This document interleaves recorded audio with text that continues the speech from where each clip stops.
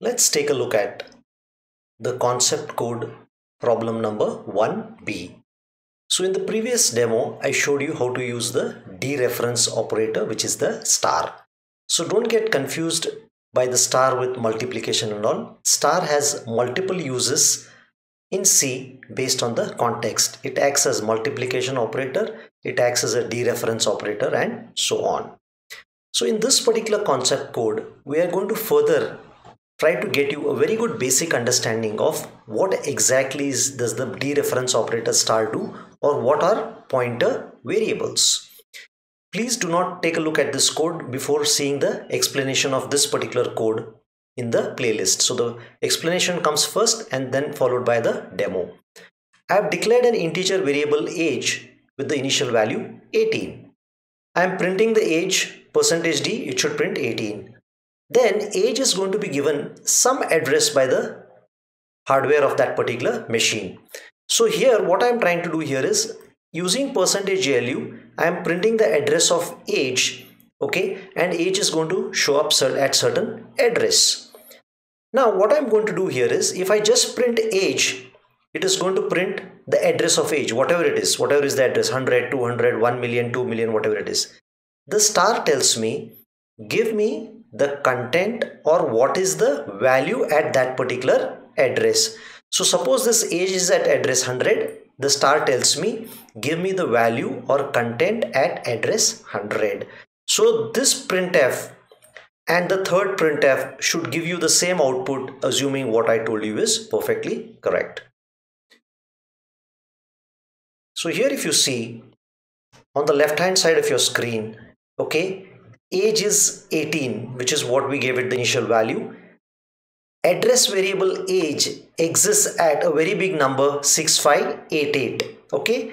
And again when i use the star operator what the star operator really did was it went into this particular fellow okay?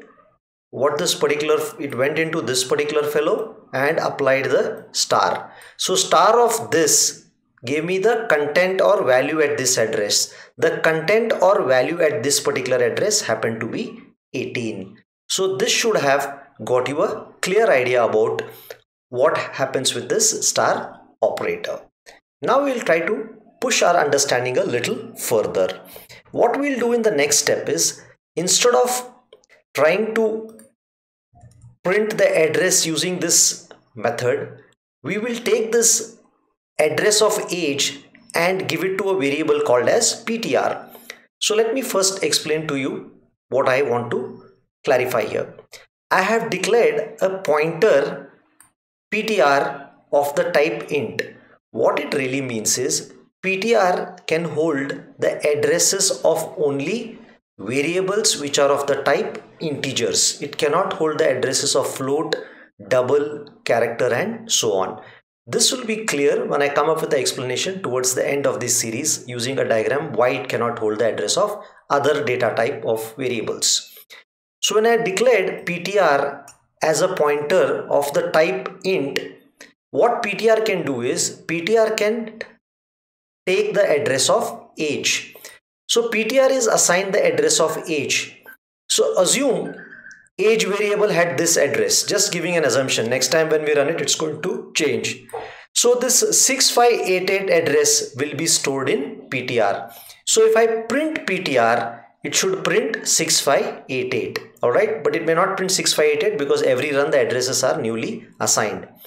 Now since i told you ptr itself is a normal variable ptr itself will have its own address. So first i am printing the address of ptr then when I print PTR, it is printing the value or content of PTR.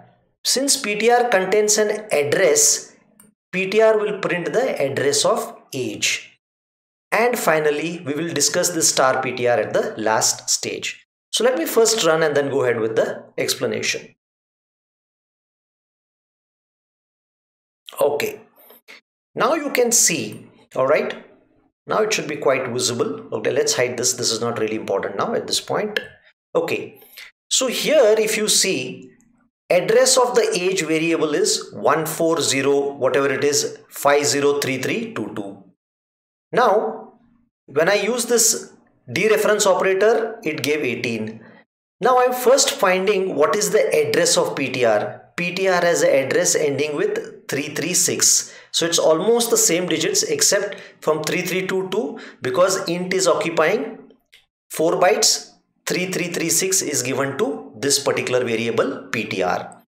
Now since PTR contains the address of age when I print the content of PTR or what is the address in PTR this address okay if I am correct should be equal to this particular address. All right so here if you see this particular address happens to be equal to this particular address meaning PTR is having a value just like integer values have numbers PTR is holding addresses and the address it contains is address of age okay?